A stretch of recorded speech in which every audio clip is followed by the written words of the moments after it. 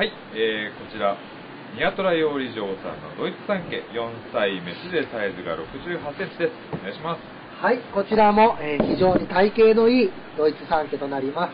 えーパッと見池で並ん泳いでても普通の、えー、和鯉の産家と並んでもえー衰えることのない素晴らしい体型そして肉付き目幅もありこの幅も非常にあるいい体型のドイツ産家ですおずつも非常に幅がありいいですね。ドイツは御三家と飼うとどうしてもお腹とか出てしまうことがあるんですが、えこの鯉に関してはそういったところも全く見受けられません。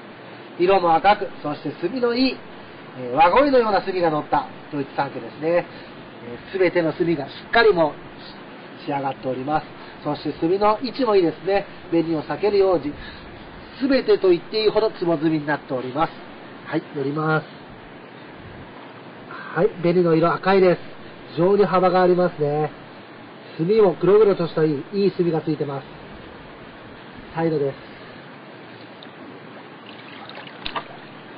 サイド。はいお腹ですね。お腹もしっかり肉ついてます。はーい。サイズが68センチ、70部の出品予定です。えーまあ、東京大会じゃなくてもですね、まあ、いいドイツ産家、大きくなりそうなドイツ産家、ドイツ語をお探しの方には、ぴったりな一匹かもしれません。お腹も筋肉質ですぐお腹が出てしまうようなことは全く感じません。はい。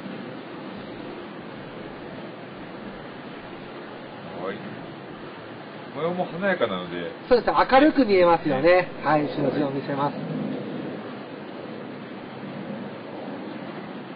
はい、いかがでしょうか？えー、こちら、ニアトライオリジョーさんのドイツ産家4歳メスでサイズが68センチです。ぜひよろしくお願いします。